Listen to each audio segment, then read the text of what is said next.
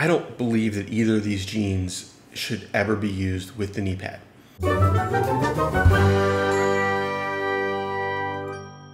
Hey folks, welcome back to the channel. Today we're going to talk about uh, riding jeans, casual riding jeans, as opposed to really technical, fancy ones. And specifically, we're talking about the Reax 267s and the Street and Steel Oaklands. And if you're up on your brands, you'll you'll catch the irony there because they're basically the same company, right? But only sorta. They're they're two different product lines. They do things a little differently. Particularly the 267s are a very non-traditional setup for a riding jean. However, they're going after the same market. They're meant to be a casual riding jean that you can wear on and off the bike and not look like you're wearing riding pants. And in terms of comfort, within reason, they are designed to be casual jean comfortable. The key differences are the 267s are not a line jean. It's built in. Okay, the slide protection, the abrasion protection, the heat protection is built into the material. It makes the material a little stiffer. Um, it's not going to break in quite the same way. They look like a fresh pair of traditional Levi's. Both companies when you put the pad in, you can't take the pad out and put it back without having to go through the whole repositioning process again. It's annoying. Uh, on the 267s, every time I put my leg in, I caught that pocket. Finally said, you know what the hell with this, turned it inside out and sliced the pocket out. I don't believe that either of these jeans should ever be used with the knee pad. If you feel the need for the knee pads in these jeans, you should be wearing something different. They are not highly technical, you know, racing pants, stunting pants. Uh, you know, these are not street Rossi pants, I guess is the best way to put it. Like, that's not what these are for. These are meant to replace your regular Levi's when you just want some actual slide protection. If you happen to go down, you wanted that last little bit of protection without having to deal with a weird pair of jeans all day. And I think the 267s accomplish this better because there's no liner, there's no extra layer in the way. However, as we'll cover in a minute, there are some advantages to that liner. For me, the 267s were the better fit and a better fit in terms of what I was looking for. Does not necessarily mean that's true for you. For me, the waistline fit better. It didn't have the same tendency to slide down uh, or feel like it wasn't as snug as it should be. The general pants themselves, the legs, kind of fitted look. Um, there wasn't a whole lot of extra material, but not snug.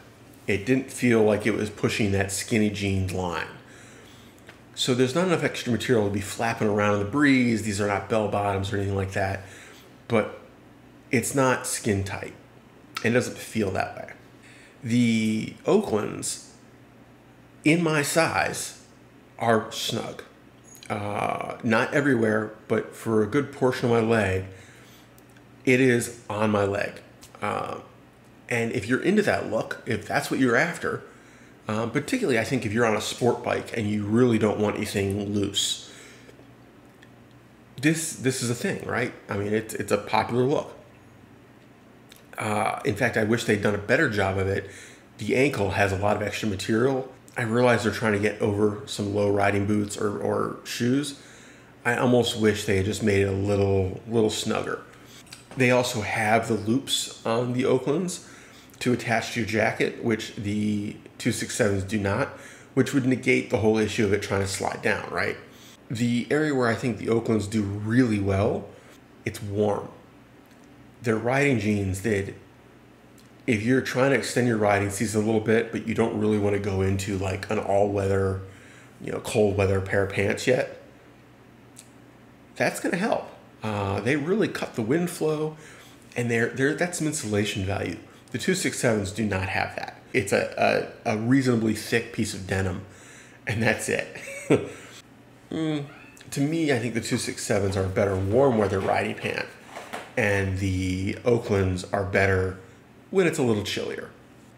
Overall comfort, overall quality, both seem excellent. I have not had any issues with either. Price wise, I wish the 267s were cheaper. Uh, I think that what you're paying for is the technology of not needing to be a line pair of jeans. I bought mine on sale. Um, I will buy more when they go back on sale. If they don't go back on sale, I'll probably still buy more. If you are somebody who is a runner with a more streamlined leg, absolutely, the Oaklands may fit you perfectly. And you may feel like you're floating in the 267s. Uh, they have more stretch, much more stretch. Uh, the 267s have some stretch, but it's mm, it's enough that you're comfortable after eating dinner and that you're comfortable sitting down on the bike or standing up and walking around. And it's not too tight in either position. It's the Oaklands, there's a definite significant elasticity to the outer layer. And some people like that, some people don't. I've worn both quite a bit. I've washed both of them several times. Have not had any issues um, in terms of that. No stitching coming loose, no weird fading. Um, the Oaklands did bleed a little color. I washed them in the bathtub the first time. Um, and yes, I did get some black dye coming off of it. Uh, not a lot. If you if you washed it with darks, you'd be fine. Uh, it's not going to turn like you know this shirt black. But I wouldn't put it in with anything lighter. It seemed like it was a minimal amount and was fine. I did not get anything off the Reax. Just don't throw the the two six sevens or the Re or the Oaklands in with your lights on your first wash. Uh, don't be that guy going back to price, the Oaklands really are a great deal. Um, I think for the money, they are one of the best options out there. And if you're just if you're just getting going like I am, just to have a pair of riding pants, go for it. Um, I suggest trying them on at Cycle Gear though. I don't really suggest doing what I did and just ordering a pair because you may find you want a size bigger or a size smaller depending on how you want them to fit from your, your traditional size. It's just easier to do that in person at the store. So if you don't have a cycle gear near you, Revzilla does do exchanges for clothing nice and easily, but it's just easier to be able to put them on in the store, right? That is what it is. Take care, have fun, stay safe, shiny side up, guys.